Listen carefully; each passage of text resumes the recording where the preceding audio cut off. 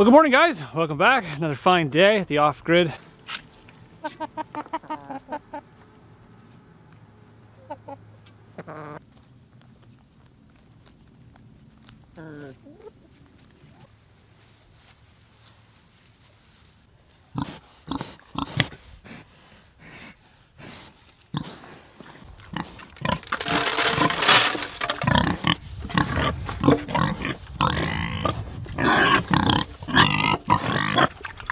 What do you guys think of your pumpkin spice? Is it good? Pumpkin's delicious, isn't it? You got some on your ear there. You got some pumpkin on your ear. Sorry, I'm bugging you. Anyways, enjoy that. Today is a uh, special day. It's a special day because there's like a honey-do list the size of my arm. And, and I've kind of been, I haven't been really putting it off. It's just kind of like everything kind of culminated into one particular day. It's been raining like cats and dogs out here. Everything's kind of filling up the pond. Looks like it's right near its edge, which is kind of cool. It'd Be great for hockey and whatnot. The, primary objective of this is to button up a lot of the stuff that uh, I haven't been able to get to and winter's coming, as you guys know. First order of business is I'm actually going to do some takeoffs at the uh, the A-frame because I want to uh, I want to build a deck because building a deck in the winter isn't cool. So we're going to do that. And uh, also I've got some issues with the uh, the actual A-frame glass, which uh, as you guys may have known, I've caulked around uh, three sides of it and I didn't think I needed to do the top, but it's still leaking. So I'm thinking it's, you know, leaking from the top. Either capillary action is sucking the water up and down and around and it's it's leaking inside. So there's a little bit of leaking. I'm, I'm gonna try to nip that in the bud sort of thing because I don't have that many days left where I can do it. I'll clean this guy off and then maybe in the afternoon when it's all completely dry, I can caulk the top so it doesn't leak anymore. So the plan, the plan is to do the uh, the front deck, do some material. I gotta actually mill that. And uh, we gotta deal with the pigs. So the pigs are going to market. Uh, that was their ultimate goal right from the get-go was uh, raise them as food. And as you guys know, the price of meat has gone up astronomical. So that, that was a good investment. I hope we haven't really done the numbers or shaken out exactly how much it's cost. Uh, but uh, those are on the, on the list. So I've got to prepare the, uh, the cage or the transport vehicle to get them to where they've got to go. And uh, so yeah, there's a lot of stuff to do today, uh, but let's get started. Well, as you guys may know, I don't eat the best diet. I've got high fat, high sodium. It's not, it's not, it's not the most balanced diet. Fortunately, I found a healthy snack in Magic Spoon. Magic Spoon comes in a bunch of different flavors. They send you a variety pack of four different flavors. My favorite right now is Frosted. It's delicious. Try Magic Spoon's best-selling flavors in a four flavor variety pack featuring cocoa, fruity, frosted, and peanut butter. Magic Spoon also offers other great flavors including cookies and cream, maple waffle, cinnamon, and blueberry. When you're eating a bowl of Magic Spoon, you don't have to feel like you're missing out anything because it's got all the great flavors of your childhood cereal. Magic Spoon tastes amazing. It's just like the cereal I used to eat when I was a kid, but it's good for you. It says here right on the box, high protein, keto friendly, gluten free, grain free, soy free, wheat free. So it's great for those who have food sensitivities or who are trying to improve their diets. Click the link below to get yourself a variety pack today and use the coupon code self-reliance to get you $5 off your first order or you can use the link magicspoon.com slash self-reliance. And Magic Spoon is so confident in their product, they have a 100% money back guaranteed, no questions asked. And for my Canadian and UK fans, they're now shipping. So click the link below and use the code self-reliance to get yourself $5 off your first order or go to magicspoon.com slash self-reliance to get $5 off today. Mmm. I'm just gonna eat cereal all day. Mmm. Let's go back to work. I gotta finish my cereal first.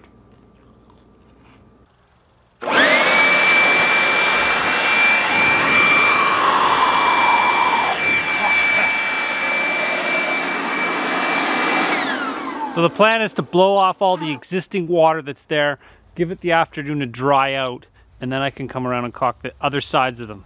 Come hell or high water, I'm gonna make this thing stop leaking.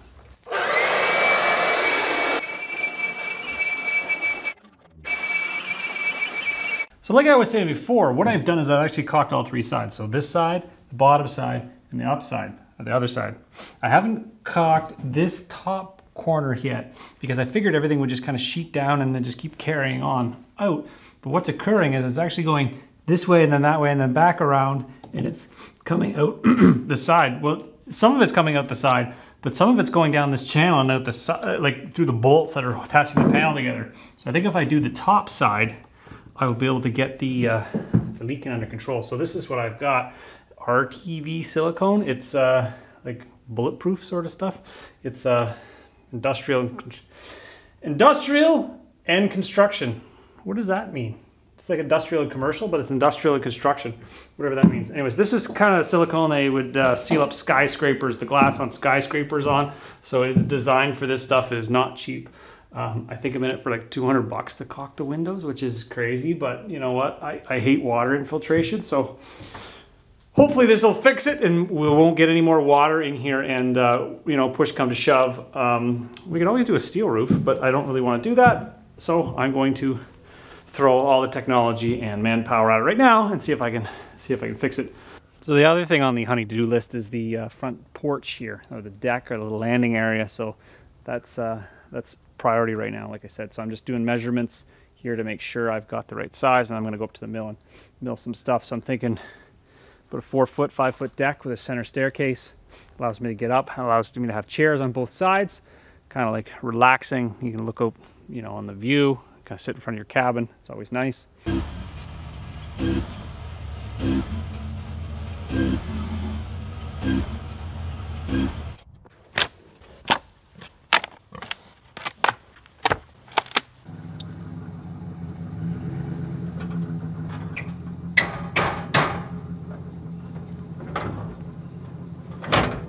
My pigs aren't going to market just as of yet, but my idea is to get them acclimatized to transport. So the idea is to set this thing up here and they can kind of come in and out as they please. Perhaps I'm going to feed them in here for the next little while in order to get them used to travel. They're not uh, they're not the traveling pigs, but uh, hopefully they get used to it quickly.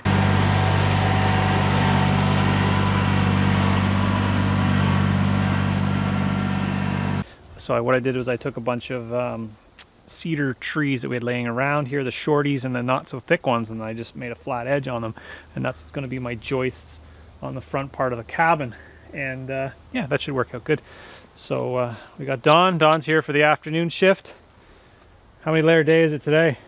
Actually, it's uh, multiple. Is, um, is it because your blood's not thick enough yet? It's it's, right. it's, it's not uh, not used to this yet. Not used to this. It is true. It's this is like it's it's kind of dropped really cold. It's kind of damp. It's been raining for a lot, so yeah, it's a. How many layers? How many layers you got? One, four? I think I have four. Four layer day. So there was a company that reached out to me the other day, and uh, they were like, "We want to send you some heated vests," and I was like, "Well." If you're gonna send me one, you gotta send Don one. So it's really cool. It's uh, FT Vogue is the name of it, and it's got a little button here, and it's got uh, I'll show it anyways. It's got like three settings. You can go red, which is really hot, and then you go uh, blue, which is medium, and then green is cool, but it's still warm. I've got it on green right now because it's about a couple layer day. So what's really cool about these vests is that you still have your arms to work with. You don't have those bulky jackets. Does that fit? Is good? That's a large. It's a men's a large. large. Yeah. And I got t-shirt, sweater, and uh, hoodie. So. Oh geez. Here, here, let me turn you on. You're like an oh. There. Got the red. You got full. Got the red. Full. I got full. So I want you to. We'll check back in a couple of minutes to see how it is. But yeah, so it comes. It comes with this little battery pack, which is kind of cool because you can charge your phone with it. Uh, it's got a Type C in, Type C input, which is the charging, and then you got USB output. So I guess you can charge your phone as well, which is kind of cool. The back, shoulder area, neck, shoulder blades, very warm. That's cool. And uh, actually the whole back too. And the nice thing is it's long, doesn't pull up. Right like I said, I milled up the things and I've got, uh, I got the planking, which is a spruce tree that uh, we had dropped off from Jail's tree service. They dropped them off and we've been building with them ever since, which is quite cool because we actually diverted that uh, tree from the chippa. We made it useful. So we got our deck boards all milled up. We've got our structure milled up. We should be good to go. So the plan at the front of this thing is not actually to dig in the holes. We're gonna put some, we got some pavers. We're gonna set the pavers down, put a couple of posts down, extend our framing out, and then uh, we'll have a deck. So the consensus on parging was that uh, we should and we shouldn't. So it was half do it and half don't. So I'm gonna, I think I'm gonna wait. I've got the uh, the sand, you saw we just moved it. Uh, and that's uh, the sand to actually mix with the Portland in order to parge this thing. But I think I'm gonna let it, I'm gonna let it weather. I, like it, it's rained a couple times and water hasn't come in. I'm probably gonna seal the little bottom here in order to prevent water from actually getting in. And uh, there was a useful tip to actually cut a groove on the bottom of this little drip bed so the water doesn't kind of flow back and touch my siding. So I'm gonna do that. But as it sits, the vote is to leave it. And I'm gonna leave it. It's easier to leave it than it is to change it once I've done it.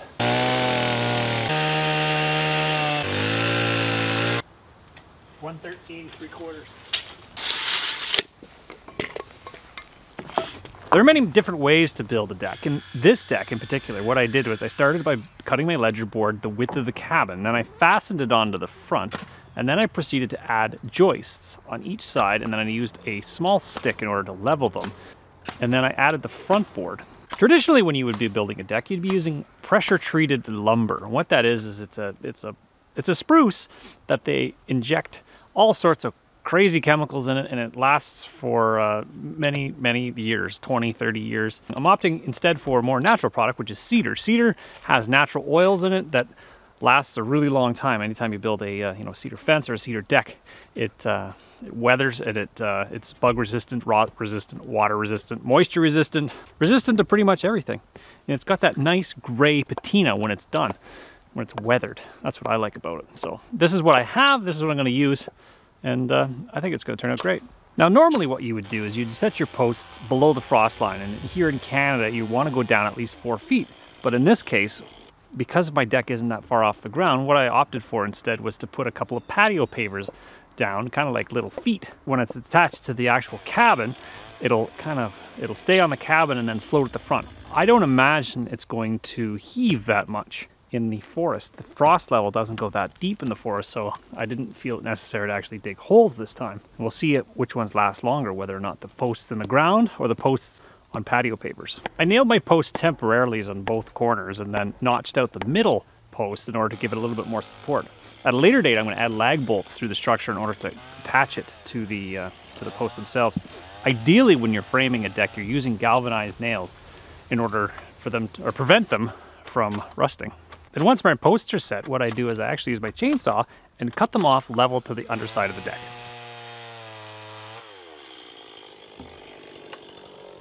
Once the basic structure of the deck was completed, I used my tape measure in order to ensure it was square. So if you measure from one corner to the other, and then from the one corner to the other, you can determine if it's square. If those numbers match up, that means you're square, and you could adjust it incrementally until it is. 125 and a quarter.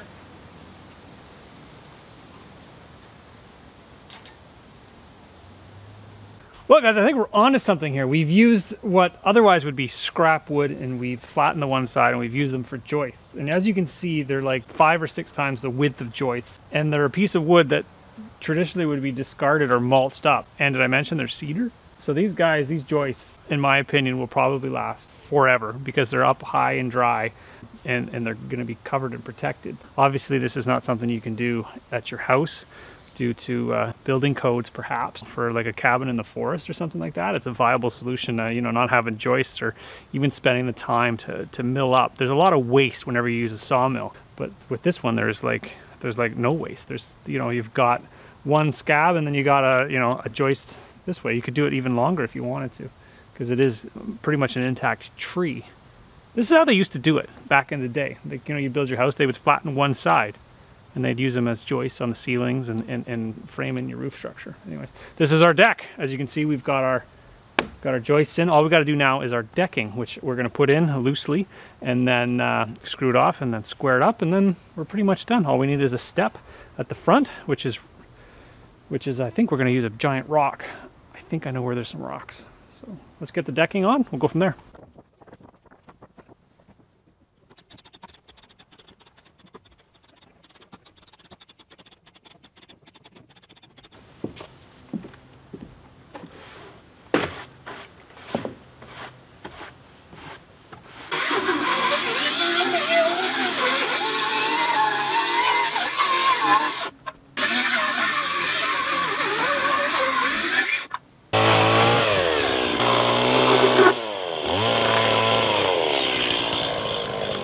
I think it looks pretty good. What do you think?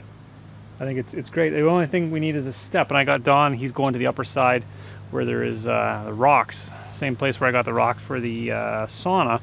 there's some big rocks there. We needed like a 12 inch thick rock by about three feet wide. I don't know if we'll be able to carry that, but we're gonna give it a whirl. He's, he's just on the hunt right now. I'm just gonna mention that uh, we got our EcoFlow Delta out here and we uh, running our compressor for our nail gun and uh, we started off at 99% battery and we're at 88%. So that actually worked pretty darn good. Um, if you had to lug a you know a gas powered generator over here and have that thing running and making noise and whatnot, it would have just been a drag. Don had to drive all the way around because there's only one trail there, but I can drive. I can actually walk right through the cedars and I'll take you guys for a little walk if you guys are curious. As you can see, it is sunny out today, but uh, the sun's not quite getting through. You can see the back of the A-frame. You can see the sun kind of hits it, and uh, we've got to thin these trees out, which is my goal. It's been my goal all along to kind of thin these trees out. So this is the kind of backside. The camera does a poor job at kind of showing slope, but if you can imagine, this is a very, this is a pretty steep grade. I want to show you what happens when you get a forest that's too, um, it's too packed. I don't know if any of you guys can walk through there, but I sure can't. That's, uh, that's a lot of trees and they're all mashed together. It looks like something out of a weird, scary movie. Probably at some point was like a, like a downdraft or something like that, little tornado, mini tornado and it kind of shoved all the trees down. You can, you can you can't even, you can't walk through there. You can't, well, I guess if you crawled, you can kind of, you can see they're all bent over. It's because they're, they're, too, they're too tight together. They grew too close together. There's not enough nutrients for them to kind of grow independently and strong. So they kind of all folded over. Like imagine if I can't get through that, do you think a big, like big game animal is gonna go through there? Not likely. So as you can see, we're at the edge of the cedars now and we're getting into the pines now. All right, we're almost there. Don's on the on the side of Narnia over there where the sun shines through. I think it's one, but it could be two. Is it a monster? Do you think we'll carry it? We might be able to. Drag that bad boy. That's actually not a. It's nice and flat. Or there's that one. may have to do two. Maybe do two. Actually, two wouldn't be bad. I think, what do you think this stuff was? Like there's there's definitive piles. Like there's one pile, two piles. Maybe they cleared the field or something. Look at this one. It's Such a tripping big. one. That one's gonna stay there. Who's more it's a marker? Who's more stubborn, that rock or Don? oh, uh oh, Don more stubborn than that rock. Shark tooth. Big old shark tooth.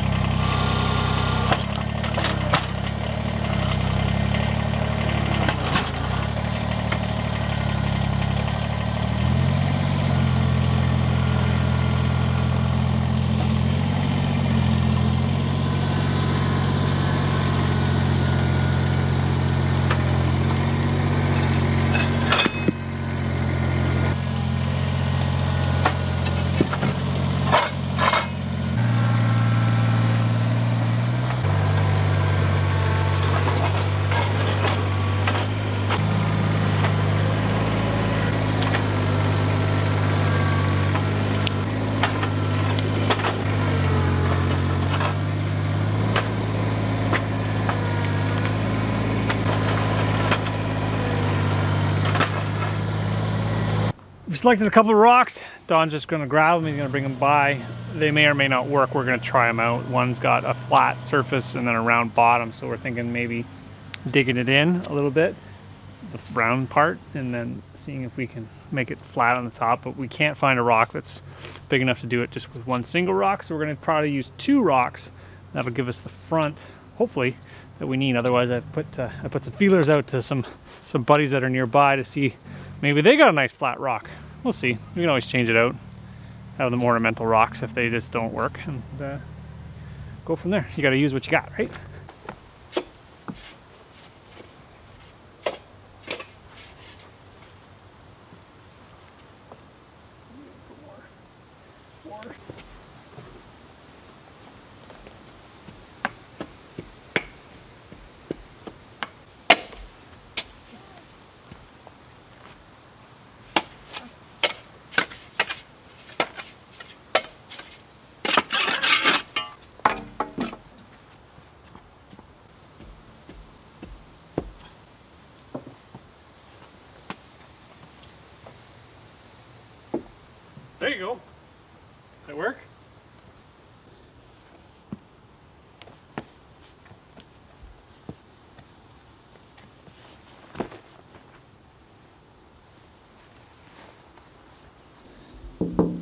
Hello? Yeah.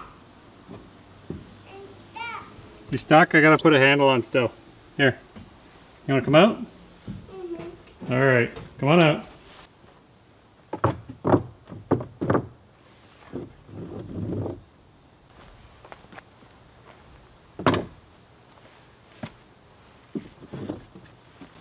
Well, guys, I found the deal of the century. I was at the local hardware store, and uh, turns out end of season sales are on now. Nobody buys uh, Adirondack chairs or Muskoka chairs in the fall. I guess they're just waiting for winter. But uh, lucky for me, they're on sale for a really good deal. I, I can't even I can't even put gas in my chainsaw for the price they were. So I ended up picking up two, and now I got some chairs. This is actually pretty comfy. They're rated for 250 pounds, so hopefully I just lay off the cookies. There's even a cup holder. Look at that. They had uh, they had bigger ones for 350 pound ones. So ultimately, I've been waiting for the rain to come. Today was supposed to rain. It looks very it's it's overcast, and I don't want to finish the inside without knowing it's watertight. So I'm hoping I'm hoping for rain. it's last time. Usually I'm hoping for no rain. There's a lot of uh, wind blowdowns, like dead landing laying on the ground. It's kind of like a mess in here.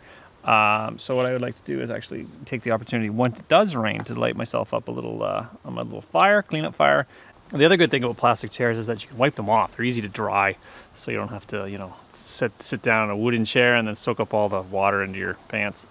So these are just like wipe, wipe, and we're good. We're good to go. We got dry seats, especially in the forest, because the dew in the morning, you kind of want to, yeah, wipe it off.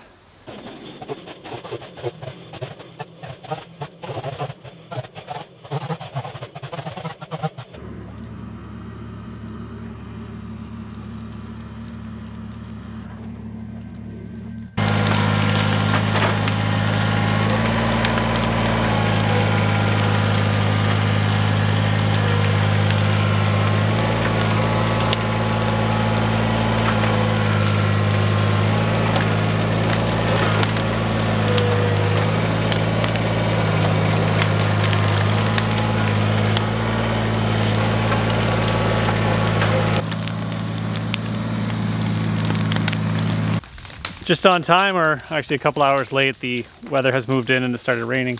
It seems to be holding up really good. The rain seems to be staying out of the cabin. There might be a little bit of a minor leak at the front but i think i know where that is. I have to wait for it to dry again and then try to go again. My brother my brother is here. He's going hunting in the back 40 and he's uh, what are you doing? I'm smoking myself What? so the deer you're gonna catch fire. You're deer, like deer can't smell me.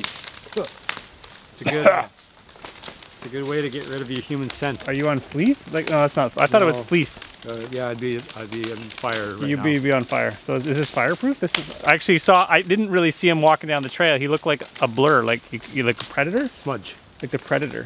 smudge. But then you got the the red orange Yeah, shoulders. That's well. what kind of gave you away. The deer can't see that, so You can't see the orange shoulders. I'm gonna try to shoot a deer. and probably scared them all away with the construction. No, no, no, no. We didn't. We just did natural fire sounds today. Well, I'm gonna go over there anyway. Yeah. Well, I've, I've been hearing. I've been hearing.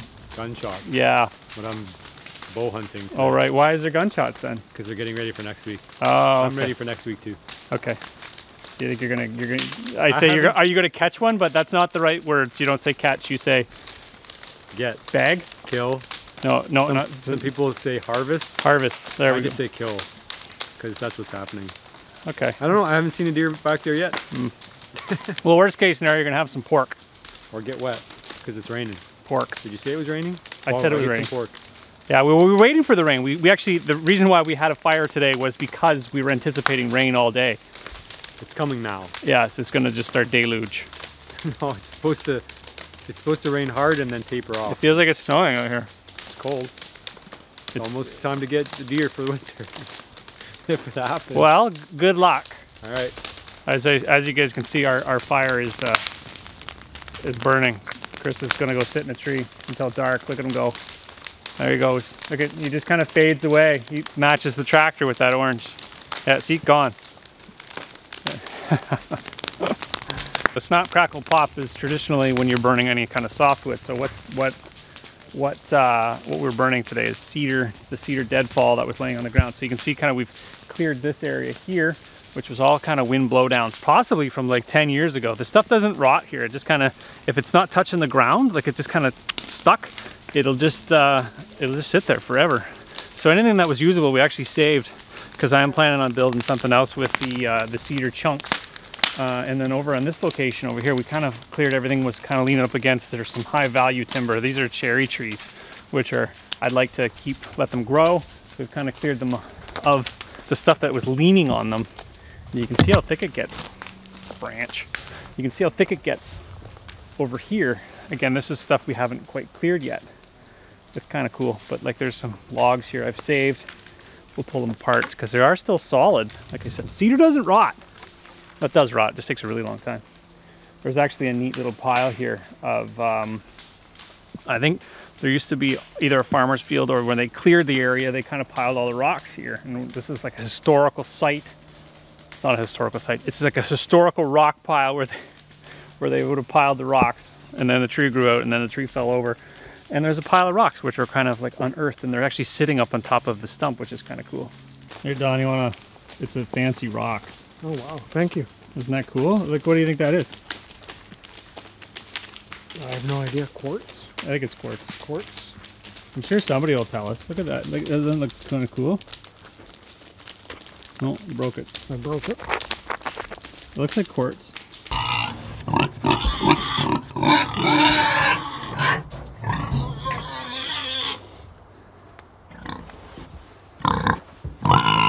Morning. Early morning on the day of, well, it's the final day. These little guys are going to market and uh, so we put the pen over there get them kind of used to going in and out. We haven't fed them yet this morning. So we're gonna lure them into the transport carrier, but first we gotta put their makeup on. And by makeup, I mean uh, we have to put uh, we have to put a number on. So they, uh, they have a pig trace ID number, and uh, what that does is identifies the uh, the pigs. And you got to notify the transport, the pig ID transport people that you're transporting pigs. So that's what we've done. Uh, you can opt for ear tags. Uh, those cost money. This guy pretty much lasts forever. So we just mark them and then uh, they go off to market. So my brother, my brother, the Wooded Beardsman, opted to, uh, he was going to do this for me if I didn't get all my ducks in a row to begin with. Because you can do these at home. But uh, I don't know, for the, uh, for what it costs and the aggravation and the proper processing and the cleaning and whatnot, it's, uh, it's almost easier if you have somebody that'll do it. Uh, just kind of pay them, pay them to do it. So that's the, uh, that's the plan today. Get these guys on the trailer and get them off on their final journey. Circle of life, right? Hey, go in there. Hey, go in there. In. In. In the box. Come on. In. You gonna go in? In. Come on. Come on. Go in. Go in. In. Up the ramp. So what's your plan? We are going to lure them in with some scraps from last night. We have some eggs from Lena's breakfast, and they really like those. So let's see if we can get them in. You think they're gonna, they're gonna come in? Come on. I gotta shut the door. Wait, wait, wait, wait.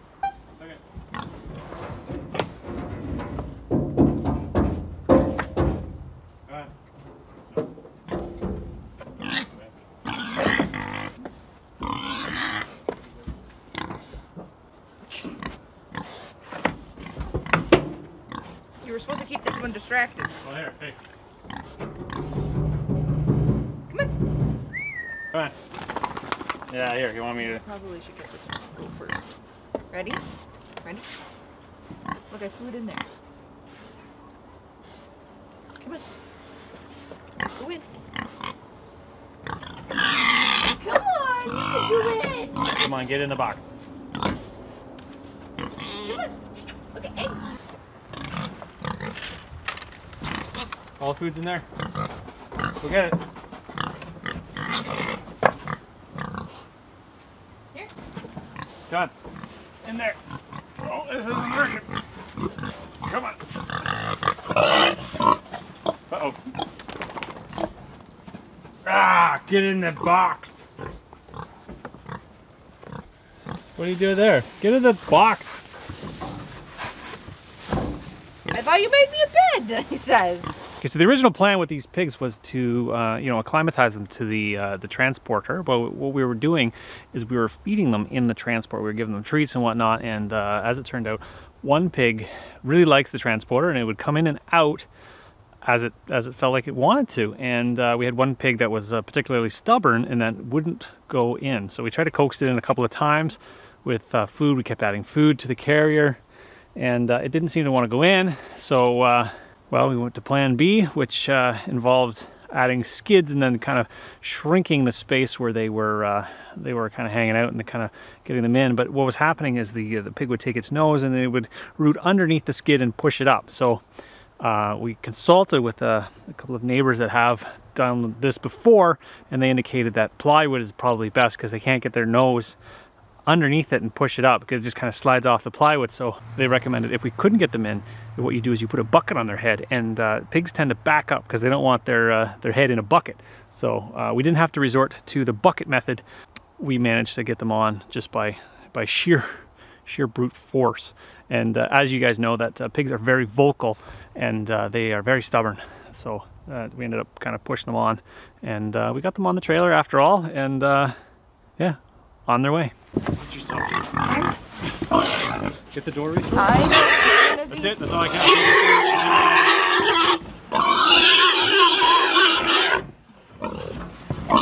That's it, that's it. Alright. Come on, back up, baby. I know, back up.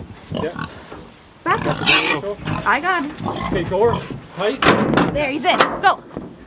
Ah, yeah!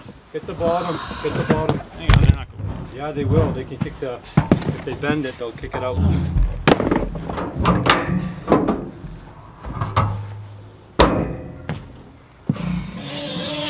In there?